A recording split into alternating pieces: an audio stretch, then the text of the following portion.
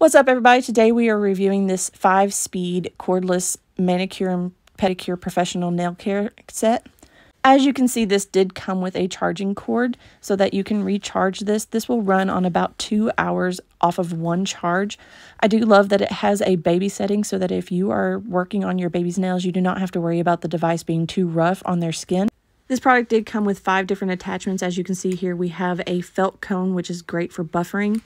It does have a cuticle trimmer, a flat disc for shaping, a rounded sapphire cone for buffing and shaping and removing dead skin.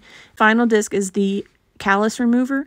This is great for the undersides of your foot or the edges of your heels to remove rough dead skin.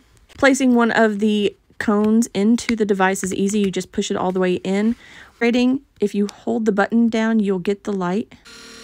I stated before this does have five different speeds. So if you're cutting a baby's nail, an adult nail, if you need a medium speed, a fast speed, or a very strong speed, you can adjust this with just the press of the button.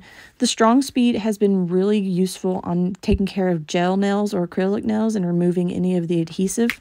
Overall, I highly recommend this kit for anyone who likes to do their nails at home or take care of their nails. It does charge on the bottom, and like I said, it does have a two hour charge time.